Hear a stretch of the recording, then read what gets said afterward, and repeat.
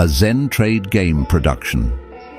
In the shadowy corners of our minds, there's a realm where ancient secrets dwell. It's the collective unconscious, a concept introduced by the psychologist Carl Jung. This mysterious aspect of our psyche is a universal database of human experience filled with symbols and archetypes that we all share. Picture an ancient library, vast and silent, where the wisdom of ages is stored. These are not personal memories, but rather the echoes of humanity's past. It's here, in this subconscious archive, that our deepest instincts and shared cultural themes reside. Our journey through life is subtly guided by this inner compass, steering us through the fog of the unknown. It's like a psychic DNA, connecting us to every human who has ever lived.